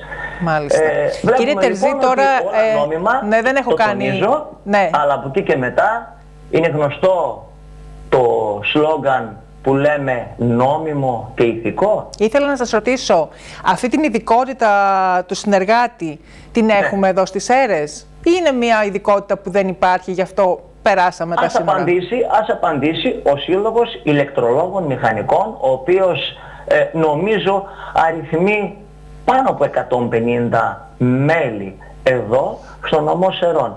Ας λοιπόν επικοινωνήσουν, αν μας ακούν ή αν αν διαβάσουν το δελτίο τύπου, ε, τα μέλη του Συλλόγου των Λειτρολόγων Μηχανικών, αν έχουμε εδώ ενεργειακούς επιθεωρητές, αν αυτοί μπορούν να κάνουν μελέτες ενεργειακής αναβάθμισης, αν μπορούν να εκδώσουν πιστοποιητικά ε, ενεργειακά για κτίρια μεγάλα όπως είναι τα δημόσια κτίρια και τα αντίστοιχα κτίρια του Δήμου. Τώρα κύριε Τερζή, εσείς έχετε και την ε, προηγούμενη εμπειρία, στην προηγούμενη θητεία. Αυτό συνέβαινε ε, συχνά στο, Δήμο, δηλαδή να επιλέγουμε έξω, έξω τέλος πάνω από τα τείχη συνεργάτες; Δεν έχει πέσει στην αντίληψή μου στην θητεία του κυρίου Αγγελίδη. Έχει πέσει στην αντίληψή μου στη θητεία του κυρίου Χρυσάφη και τώρα φυσικά και στην θητεία της κυρίας Βαρβάρας Μητλιάγκα. Εάν είναι μια παροχή υπηρεσιών ή προμήθεια ενός είδους το οποίο όντως μπορούμε να το βρούμε σε πολύ χαμηλότερη τιμή όταν υπάρχει μια ανταγωνιστική διαδικασία όταν είναι ένα είδος το οποίο δεν βρίσκεται εκτός ερών ή μια παροχή υπηρεσιών που δεν μπορεί να την καλύψει κάποιος ο οποίος είναι σεραϊκής καταγωγής ή δραστηριοποιείται με το αφημί του ναι. εδώ στο Δήμο των Σερών. Ναι, βεβαίως, εκεί θα κοιτάξουμε την καλύτερη ποιότητα και την συμφερότερη Εδώ μιλάμε, είπατε για απευθείας ανάθεση όμως. Ναι. Και θυμίστε μας λίγο το καθεστώς των απευθείας αναθέσεων, γιατί ύψος ποσών μιλάμε; Οι απευθείας αναθέσεις κυμαίνονται ανάλογα με το αν είναι προμήθεια ή αν είναι έργο. ε, είναι της τάξης των 30.000 ευρώ μαζί με το ΦΠΑ. Νομίζω, δεν θυμάμαι καλά γιατί σε κάθε δημοτική αρχή ο νόμος αλλάζει. Νομίζω έχει φτάσει και στα 60, στις 60.000 ευρώ με το ΦΠΑ. Σίγουρα ε, εμείς όταν ήμασταν δημοτική αρχή ήταν 24.000 ευρώ, ανέβηκε στις 30 ναι. στην περίοδο της πανδημίας, τότε που είχαμε διάφορα θέματα να αντιμετωπίσουμε ως Δήμη, ανέβηκε αυτό το ποσό.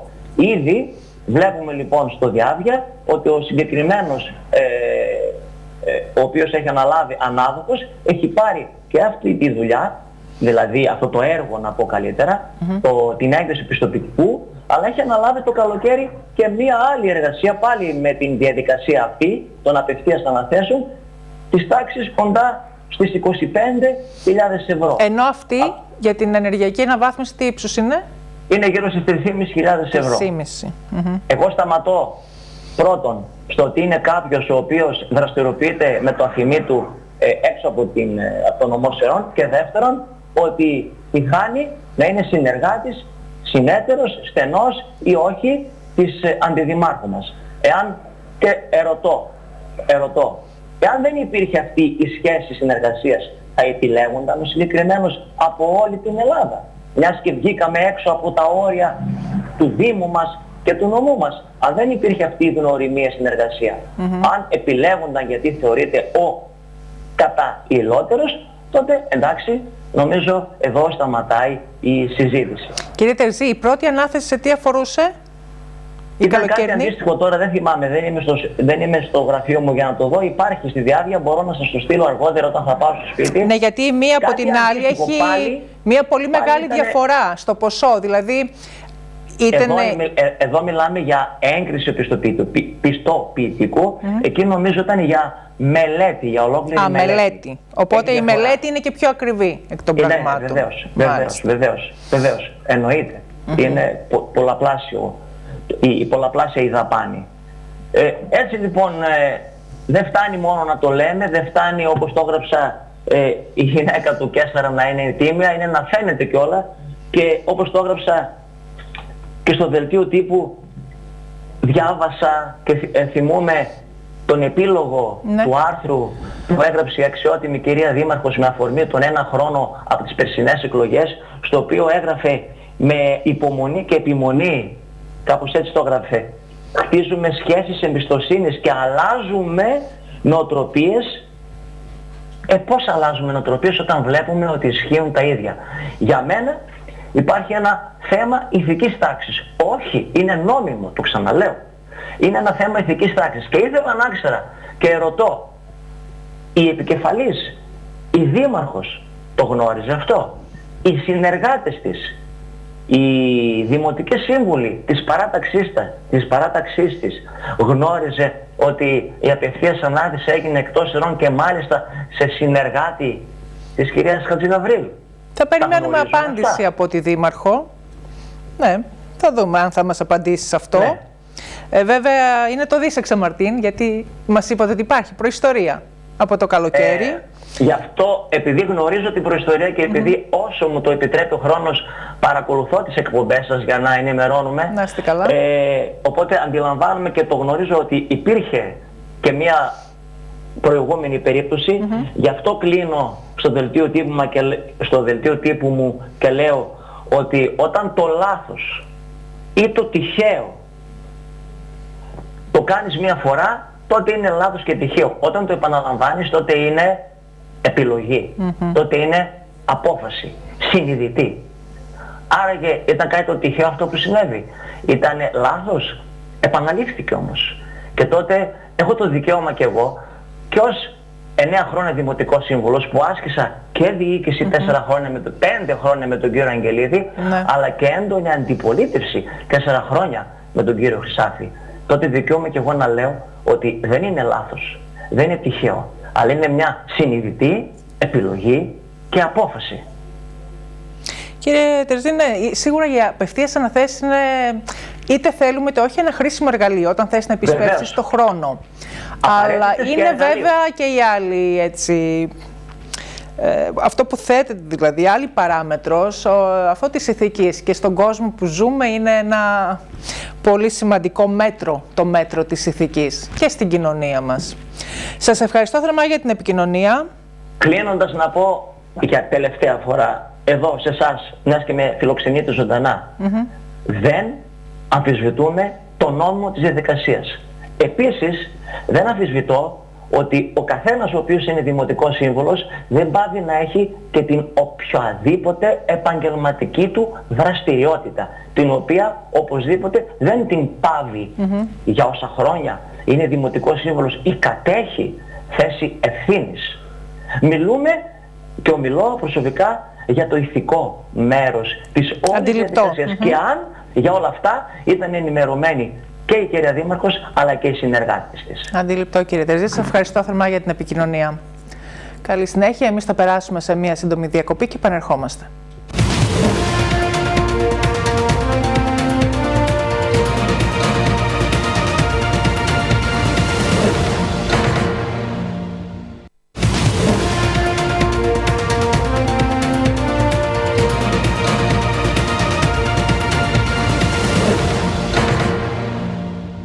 Επιστρέψαμε και συνεχίζουμε.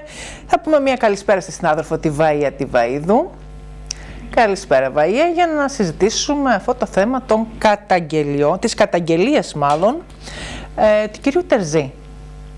Ναι, ε, νομίζω ότι, κοιτάξτε, θα πω μια, να πούμε λίγο κάτι, ότι ήταν μια να πω μια πληροφορία ότι κάτι θα σκάσει έτσι μεγάλο. Μετά, μας είχαν πει από την προηγούμενη μετά την, ε, στα μέσα έτσι, της εβδομάδας ξέραμε ότι υπάρχει μια απευθείας ανάθεση που δείχναν με το δάχτυλο την κυρία Χατζηγαβρίλ ότι αυτή κρύβεται από πίσω πίσω από αυτή την απευθείας ανάθεση, ότι είναι ένας φίλος της κτλ. Και ψάχναμε κι εμείς να βρούμε για ποια ε, απευθείας ανάθεση λένε, τι γίνεται, τι δεν γίνεται. Ε, έγινε βέβαια όλο αυτό που έγινε στο Δημοτικό Συμβούλιο την περασμένη Τετάρτη, οπότε όπως καταλαβαίνετε όλα έμειναν στον αέρα. Ό,τι, με ό,τι ασχολούμασταν είχε μείνει λίγο στον αέρα. Σήμερα βλέποντας το δελτίο τύπου του κυρίου Τερζή, αμέσως καταλάβαμε τι, τι γίνεται, περί τίνος πρόκειται, τι, τι θέλουν να πούνε έτσι όλοι αυτοί οι οποίοι στο ρεπορτάζ μας βοηθάνε στο ρεπορτάζ. Δεν ξέρω πραγματικά. είναι σε ό,τι αφορά τις απευθείας αναθέσεις, είναι ένα θέμα που καίει όλους τους Δήμους. Το ξέρουμε και από την προηγούμενη Δημοτική Αρχή. Πάντα συζητούσαμε για το κομμάτι των απευθείας αναθέσεων, πού δίνονται, σε ποιους δίνονται, αν δίνονται σε ημετέρους, αν δίνονται σε ψηφοφόρους, ποιοι είναι αυτοί που τα παίρνουν, γιατί δεν τα παίρνουν σε ρέι. Δηλαδή είναι μια συζήτηση που γίνεται και όπως φαίνεται θα γίνεται. Ιστοδιειναικές. Ναι, φυσικα Ήταν και την προηγούμενη εβδομάδα συζητούσαμε και λέγαμε πως ε, στην πρώτη θητεία του κυρίου Χρυσάφη μιλούσαμε για 400-450 ευρώ απευθείας αναθέσεις και λέγαμε Παναγία μου είναι δυνατόν μισό εκατομμύριο απευθείας αναθέσεις και τώρα μιλάμε για 1,5 εκατομμύριο απευθείας αναθέσεις. Είναι πάντως οι απευθείας αναθέσεις και γίνονται και θα συνεχίσουν να γίνονται. Σαφώς διευκολύνουν τους Δήμους και τους αντιδημάρχους και τους δημάρχους για να κάνουν κάποια έργα. Τώρα, ό,τι είναι νόμιμο είναι και ηθικό. Εγώ θα συμφωνήσω με το ερωτηματικό του κυρίου Τερζή, με το ερώτημά του αυτό, όπως συμφωνούσα και τα προηγούμενα χρόνια σε ό,τι αφορά το συγκεκριμένο θέμα. Ε, θα πω ότι λίγες ώρες πριν, μετά το δελτίο τύπου του κυρίου Τερζή, κάποιες ώρες μετά, ε, γύρω στις 2 το μεσημέρι, έκανε μια ανάρτηση και ο κύριος Χρυσάφης, ο τέος δήμαρχος των Σερών, αν μπορεί να μας βοηθήσει λίγο ο Στέλιος να την δούμε τη συγκεκριμένη ανάρτηση του κυρίου Χρυσάφη, να δούμε λίγο τι γράφει, γιατί η ανάρτηση αυτή του κυρίου Χρυσάφη δείχνει πάρα πολλά Δείχνει δηλαδή μάλλον ότι ε, και αυτός εννοεί το ίδιο πράγμα. Εννοεί δηλαδή ότι κάτι κρύβεται και ζητάει απαντήσεις από την κυρία Δήμαρχο, από την κυρία Μικλιάγκα. Και αναφέρει λοιπόν ο ίδιος ότι αν αληθεύουν όλα αυτά, αν ναι. αληθεύουν οι καταγγελίες που είδαν το φως της δημοσιότητας, σήμερα απαιτούμε άμεσες εξηγήσεις από τη Δήμαρχο Σερών, την κυρία Μικλιάγκα. Πιστεύω, δεν έχω μιλήσει με τον τέος Δήμαρχο, αλλά πιστεύω ότι αναφέρεται σε αυτό το κομμάτι, δηλαδή με αφορμή το δελτίο τύπου του κυρίου Τερζή, ότι αναφέρεται σε αυτό. Τώρα Περιμένω τις επόμενες ώρες να δούμε και τις απαντήσεις από πλευράς ε, της ε, Δημοτικής Αρχής, αν θέλει η κυρία Μικλιάγκα να δώσει κάποιες απαντήσεις. Ξέρουμε ότι υποστηρίζει πάρα πολύ τους συνεργάτες της. Το έχει δείξει άλλωστε και στο παρελθόν, δηλαδή έχει κάνει και συνεντεύξεις τύπου προκειμένου να τους υποστηρίξει τότε που οι καταγγελίες γινόταν πάλι εναντίον της, της κυρίας Χατζηγαβριήλ αν είναι κάτι η οποία η δήμαρχο, που θεωρεί η Δήμαρχος ότι πρέπει να απαντηθεί, νομίζω η κυρία Μικλιάνκα θα το κάνει. Έχει δείξει ότι όταν θέλει να απαντήσει σε κάτι, όταν κάτι το θεωρεί πάρα πολύ σοβαρό, τότε και απαντάει.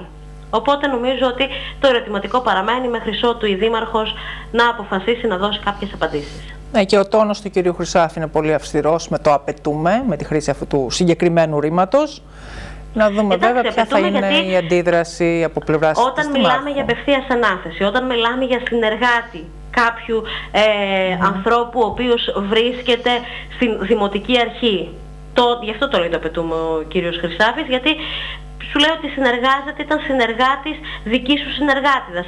Άρα πήρε τη δουλειά μήπως γι' αυτό το λόγο, γιατί γνωριζόταν αυτό θέλει να πει ο κύριος Χρυσάφης, οπότε γι' αυτό ζητάει απαντήσεις. Γιατί αν είναι να δίνουμε τις δουλειές στους δικούς μας ανθρώπους, τι να λέμε τότε, τι καθόμαστε και συζητάμε. Αυτό θέλει να πει. Ε, νομίζω ότι τις επόμενες ώρες θα έχουμε κάποιο είδους διευκρινήσεις επί του θέματος. Ίσως και ο κύριος Χρυσάφης να θέλει να πει δυο λόγια παραπάνω, να θέλει να, να βγει, να εξηγήσει λιγάκι τι γίνεται. Μπορεί να περιμένει κάποιες ώρες να δει αντίδραση από την Δήμαρχο και αύριο ίσως και ο ίδιος να θέλει είτε να κάνει μια δήλωση, είτε να αύριο να πούμε στον κόσμο ότι δεν θα υπάρχει εκπομπή, γιατί αύριο είναι και οι εκλογές Έχουμε τετράωρη στάση εργασίας, 11.30 με 3.30. Έχει προκήρυξη ΕΣΥΕΜ για τη διενέργεια των ε, ε, της συνέλευσης και των εκλογών στον εδώ ΕΑΠ, οπότε, οπότε δεν, δεν μπορούμε να κάνουμε να είμαστε μαζί στην εκπομπή, ναι. Μεθαύριο, οπότε μεθαύριο. Λοιπόν, τα νεότερα. Ή αύριο το βράδυ στο κεντρικό δελτίο ειδήσεων, αν θέλει ο κύριος Χρυσάφης, η δήμαρχος Σερώνη, η κυρία Μικλιάγκα, αν θέλει, είτε τώρα είτε το βράδυ. Ο χώρος και ο χρόνος είναι δικός τους για να μπορέσουν να πούν δύο λόγια, αλλά νομίζω ότι αυτό το κομμάτι των απευθείας αναθέσεων και ε, το, τα, το ότι το δίνουμε σε κάποιους φίλους γνωστούς κτλ ήταν κάτι που πάντα απασχολούσε και πάντα θα απασχολεί. Έτσι. Δεν είναι δηλαδή πρωτοφανές αυτό που έχει συμβεί. Mm σε ευχαριστούμε πολύ. Καλή συνέχεια. Και εμείς θα αλλάξουμε θέμα και κλίμα και θα περάσουμε να δούμε στο ρεπορτάζ που ακολουθεί το τι συνέβη χθες στην εκδήλωση αυτή που είχε η ΑΝΕΣΕΡ φάρη γνώσης και καινοτομίας μέσω Leader, μια πολύ σημαντική εκδήλωση για τους ενδυνάμει επενδυτές στην Ήπεθρο. Μία ενημερωτική εκδήλωση με τίτλο Φάρη γνώσης και καινοτομίας του τοπικού προγράμματος Leader σε συνεργασία με τις αναπτυξιακές εταιρείες της Θεσσαλονίκης, της Χαλκιδικής αλλά και του Κυλκής πραγματοποιήθηκε το απόγευμα της Δευτέρας στην αίθουσα του Επιμελητηρίου Σερών με σκοπό να αναδειχθεί αλλά και να διαδοθεί η καινοτομία στις τοπικές επιχειρήσεις όλων αυτών των περιοχών. Το Φάρη γνώσης και καινοτομίας είναι ένα διατοπικό σχέδιο συνεργασίας, στο οποίο συνεργαζόμαστε η αναπτυξιακή εταιρεία Σερών με τρεις άλλες αναπτυξιακές εταιρείες της περιφέρειας Κεντρικής Μακεδονίας. Την αναπτυξιακή Χαλκιδική, την αναπτυξιακή του νομού Θεσσαλονίκης και την αναπτυξιακή εταιρεία του νομού Κυλκής.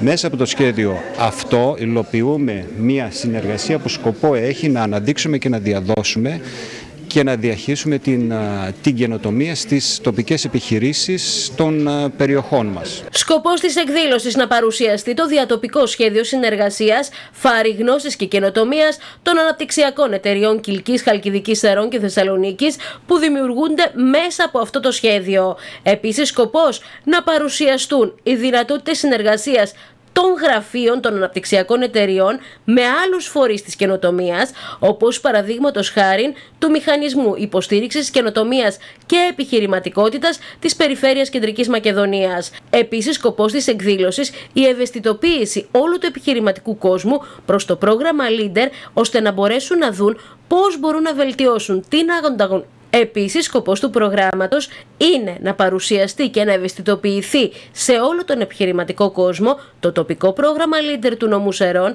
αλλά και το πώς μπορούν να βελτιώσουν την ανταγωνιστικότητά τους αξιοποιώντας σύγχρονες τεχνολογίες και καινοτομίες μετασχηματισμού. Η σημερινή εκδήλωση είναι μια εκδήλωση ενημέρωσης και ευαισθητοποίησης και απευθύνεται σε τοπικές επιχειρήσεις, όχι σε κάποιο συγκεκριμένο είδος επιχειρήσεων. Μπορεί να είναι κάποιος ο οποίος έχει μια καινοτόμο επιχειρηματική ιδέα, κάποια εταιρεία η οποία είναι νεοφυής, κάποια επιχείρηση ή και μια υφιστάμενη επιχείρηση η οποία θέλει να αναπτύξει τις επιχειρηματικές της δραστηριότητες με βασική συνιστόσα την ε, καινοτομία.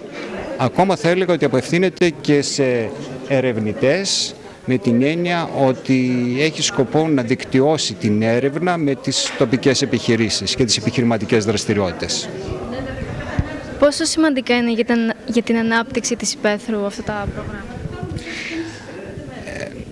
Τώρα μιλάμε για μια συγκεκριμένη διακρατική συνεργασία που γίνεται μέσω του προγράμματος LEADER. Το πρόγραμμα LEADER το ίδιο χρηματοδοτεί ιδιωτικές αλλά και δημόσιες επενδύσεις και η προσπάθεια που γίνεται σήμερα είναι να βάλουμε την καινοτομία ως μια αναπτυξιακή συνιστόσα στο πρόγραμμα LEADER και στις τοπικές επιχειρήσεις. Και είναι εξαιρετικά σημαντικό γιατί γνωρίζετε ότι στη σημερινή εποχή η καινοτομία είναι μια πολύ σημαντική παράμετρος της ανταγωνιστικότητας των επιχειρήσεων. Αντικείμενο της συνεργασίας, η ενίσχυση της τοπικής ανάπτυξης μέσα από το σχεδιασμό τη δημιουργία και την εγκαθίδρυση ενός συστήματος ανάπτυξης, διάδοσης και διάχυσης της καινοτομίας από τις συνεργαζόμενες αγροτικές περιοχές στη βάση μιας δομημένης μακρόπνοης συνεργασίας των αναπτυξιακών εταιριών. Ναι, η αναπτυξιακή εταιρεία όπως έχουμε ανακοινώσει αρκετές φορές ε, μετέχει σε μια σειρά διατοπικών και διακρατικών συνεργασιών. Μία από αυτές είναι και η Φάρη Γνώση και Καινοτομίας, στις οποίες ε, μετέχουν και άλλες αναπτυξιακές ε, της Κεντρικής Μακεδονίας με σκοπό να μεταδώσουμε και την έννοια της καινοτομίας στη διαδικασία επιστοποίησή της και κυρίως τη δικτύωση των επιχειρήσεων μέσα από μια συντονισμένη προσπάθεια. Τι μπορεί να προσφέρει. Καταρχήν τη γνώση. Συχνά ακούμε, ε, κυρίως όταν μας επισκέπτονται στα γραφεία, ότι έχω μια καινοτόμα ιδέα. Αυτή η έννοια ότι είναι μια καινοτόμο, καινοτόμος η ιδέα θα πρέπει να τυποποιηθεί μέσα από μια συγκεκριμένη διαδικασία που η νομοθεσία ορίζει. Έτσι λοιπόν εμείς μέσα από το γραφείο μας θα δώσουμε αυτή την πληροφορία για το πώς αυτό που αντιλαμβάνεται σήμερα ένας επιχειρηματίας ως καινοτομία πώς μπορεί να το πιστοποιήσει. Το σχέδιο συνεργασίας εστιάζει στην ευαισθητοποίηση του επιχειρηματικού κόσμου και στη βελτίωση της ανταγωνιστικότητας, ανέφερε από την πλευρά του ο Αντιπεριφερειάρχης Ερών Παναγιώτης Πυρόπουλος.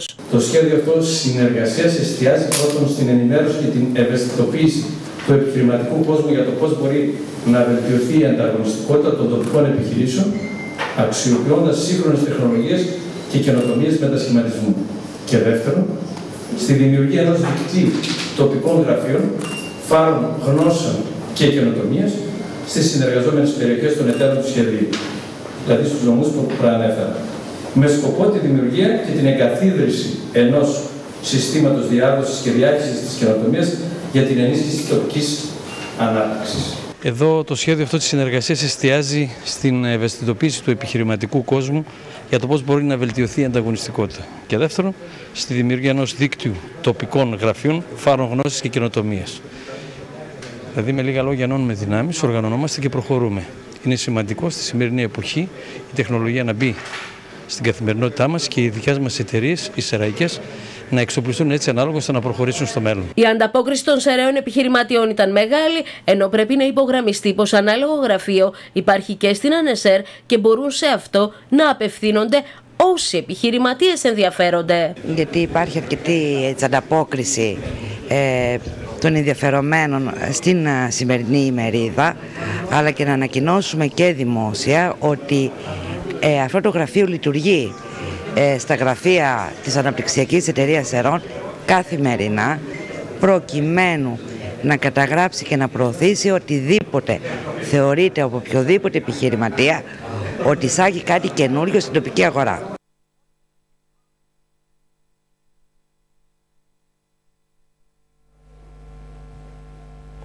Και συνεχίζουμε με ένα ακόμη ρεπορτάζ και θα δούμε τι ακριβώς συζητήθηκε στη συνεδρία του Δημοτικού Συμβουλίου για αυτό που είχε αναφέρει κάποια στιγμή η Δήμαρχος Σερών για τα προσκόμματα που αντιμετωπίζει η Δημοτική Αρχή όσον αφορά την κατασκευή του νέου προπονητικού κολυμβητηρίου.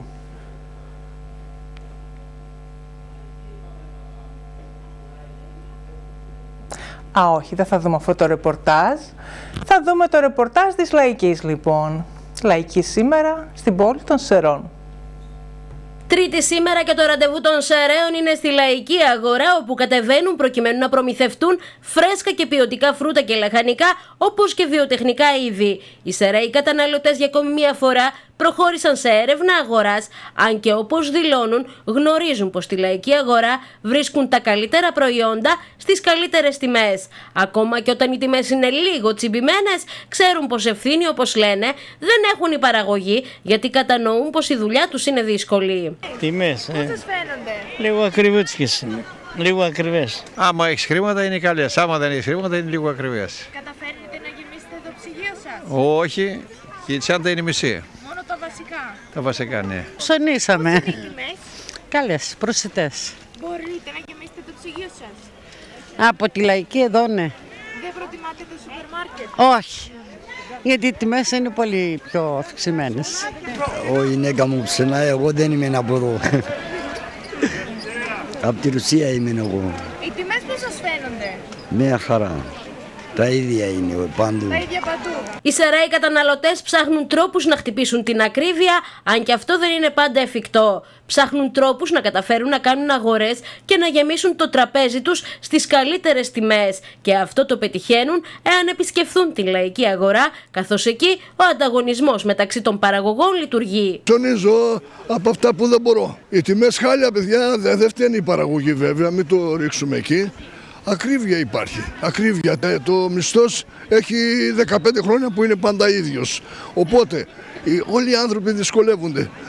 Εδώ έφτασαν και οι πλούσιοι να δυσκολεύονται. Τι να σου πω άλλο. Εσείς αγοράζετε περισσότερο από τη λαϊκή ή από το σούπερ μάρκετ. Περισσότερο αγοράζω από τη λαϊκή, δηλαδή με ορισμένα πράγματα όπως είναι ελιές, διότι οι ελιές στα σούπερ μάρκετ, να μην πω όχι, δεν είναι μονόκριβες, είναι γεμάτες με νερό και ξύδι.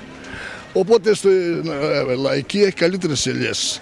Ψάρια. Καλύτερη ποιότητα. Ναι, καλύτερη ποιότητα. Οπότε ελιές παίρνω από την λαϊκή, ψάρια, λεμόνια, τέτοια ας πούμε μετά από το σούπερ μάρκετ.